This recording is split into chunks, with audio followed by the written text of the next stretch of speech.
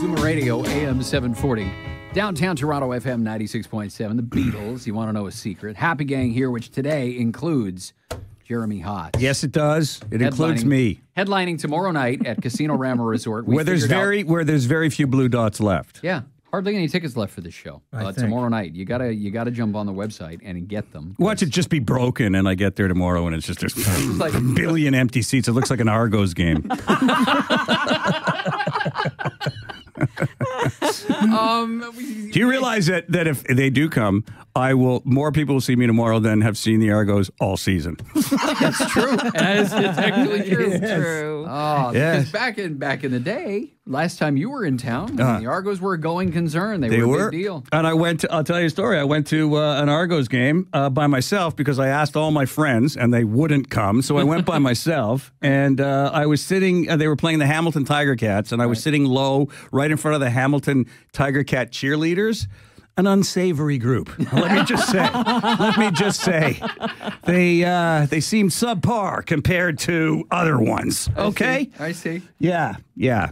And they shouldn't be swearing in the in the in the cheers either. I the- mean, yes, swearing? they can. You, I know it's Hamilton, but come on, clean it up. clean it up. There's kids in the crowd. There's one child in the crowd out of the three people. I can't. I can't ah. stop. See if it, they did it to themselves. Come on, man. You kick a you kick a field goal, you miss. They give you a point anyway because they feel sorry for you. What a stupid game. I'm just saying. Have you seen Saskatchewan? They have the same colored jerseys as the field. Yeah. Yeah. They think they're camouflaged. That's how dumb. Okay.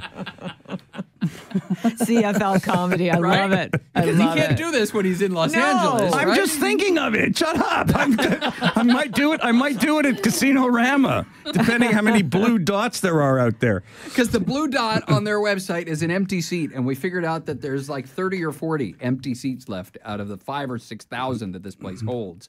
So you got to grab mm. your. Which I find hard to believe, and I think there's a glitch. I really do, because it's a computer and it's probably wrong. Do you remember when Yuk Yuk's used to have that location over on Queen Street West? They called it the Yuk Yuk's Studio, and we there were shows every once in a while. You walk on, there were like two people in the. Oh, it stunk. And and didn't it double as like a karaoke place called Sing Sing? Wasn't that the Oh, same? Remember that dumb idea you had? Oh yeah. He tried to he tried to franchise karaoke. Ugh. Yeah.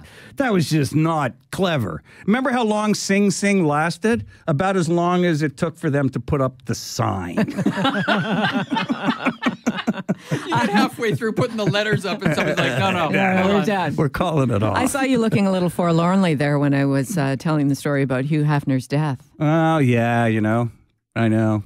That brings back memories. Those were the first naked women I ever saw in my life. I stole them from my father, and uh, we had a loft, and we used to take out all the centerfolds, and we used to hang them in the loft. And then years later, my mom uh, had found out that Playboys cost a lot of money, so she took them to one of those uh, magazine stores, and she wanted to, you know, sell them back to the guy. And the guy said they're worthless. None of them have any centerfolds in them.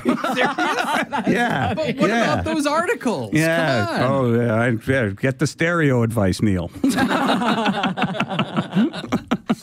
Um, that is, I mean, that that's that's the end of an era. I mean, I'm sad about it. the the era had kind of passed with the onset of the internet age and everything Right. Yeah. but still. There's something nice about, about the kids today. They don't know the joy of a pornographic magazine.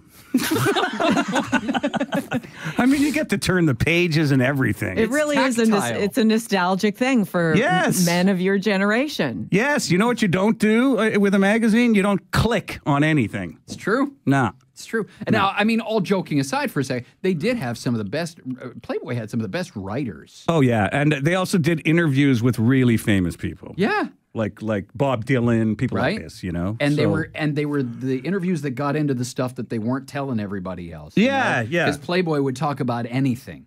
And so you could get stuff out of like like Jeremy says in an interview with Dylan or Springsteen Mm-hmm. or somebody like that that they would go places that nobody else was talking about. Plus, the cartoons were funny. Cartoons. Remember the old naked lady? Oh, that was hilarious. That old grandmother always trying to hit on the young guy. That killed me. She was always naked and she had a really big chin. Remember?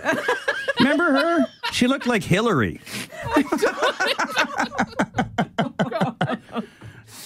Oh, that's not fair to the Playboy lady. Bryan Adams here with Jeremy Hotz joining the Happy Gang at Zoomer Radio. Timeless hits in Toronto.